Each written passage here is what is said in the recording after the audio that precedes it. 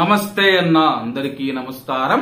భారతదేశానికి సంబంధించిన మైనా పక్షి కువైట్ పర్యావరణానికి హాని కలిగిస్తూ ఉందని చెప్పి కువైట్లో ఉన్న కొంతమంది నిపుణులు మరియు అలాగే సోషల్ మీడియాలో పెద్ద ఎత్తున ప్రచారం సాగుతూ ఉంది. మైనా పక్షి అంటే మనం గోరింక పక్షి ఏదైతే ఉందో అది కువైట్లోకి రావడం వల్ల కువైట్ పర్యావరణానికి హాని కలిగిస్తూ ఉందని చెప్పి చాలా మంది వ్యాఖ్యలు చేస్తూ ఉన్నారు. కువైట్లో ఉన్న ప్రవాసులు మరియు భారతీయుల మీద ఏ విధంగా అయితే విషం కక్కుతూ ఉన్నారో భారతదేశం నుంచి వచ్చే పక్షుల మీద కూడా మనం చూసుకుంటే ఈ విధంగానే ఇక్కడ ఉన్న కొంతమంది ప్రవర్తిస్తూ ఉన్నారు.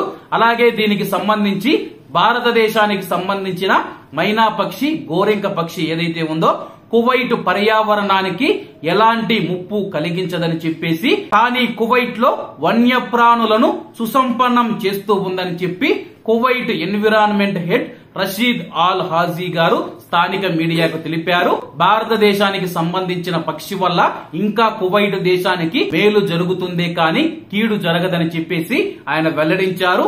మైనా పక్షి సామాజిక మరియు మేధో జీవమైన పక్షి. అలాగే ఈ యొక్క పక్షికి స్వరాలను ఉత్తేజపరిచే సామర్థ్యం ఉందని చెప్పి ఈ పక్షి కువైట్లో ముప్పై సంవత్సరాలకు పైగా ప్రసిద్ధి చెందిందని చెప్పి ఏ వాతావరణానికైనా సరే ఈ యొక్క పక్షి సర్దుబాటు చేసుకోగలదని చెప్పి ఆయన తెలిపారు. భారతీయ మైనా పక్షి ఎక్కువగా ఆసియాకు దక్షిణాన ఉందని చెప్పేసి అరబ్ ద్వీపకల్పంలోకి చొరబాటుదారునిగా పరిగణించబడుతుందని చెప్పి కానీ చొరబాటుదారునిగా వచ్చినా సరే ఆ యొక్క పక్షి వల్ల కువైట్ పర్యావరణం మెరుగుపడుతూ ఉందని చెప్పి ఆయన వెల్లడించారు. సాధారణమైన గోధుమ రంగు శరీరం నల్లటి తల మరియు కంటి వెనుక ఉన్న పసుపు రంగు ప్యాచ్ ద్వారా సులభంగా గుర్తించబడుతుందని చెప్పి మైనా పక్షి గూడు కాలం ఏప్రిల్ నెలలో ప్రారంభమవుతూ ఉంది. అలాగే భారతదేశంలో జూలై వరకు ఉంటుందని చెప్పేసి కొండ అంచులు మరియు భవనాలలో తమ యొక్క గూళ్ళను నిర్మించుకోవడానికి ఆ యొక్క పక్షులు ఇష్టపడతాయని చెప్పి ఆయన వెల్లడించారు.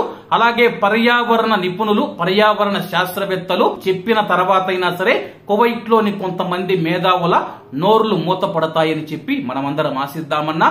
కాబట్టి అందరూ బాగుండాలి అందులో మనం ఉండాలి అందరికీ నమస్తే అన్న. జై హింద్.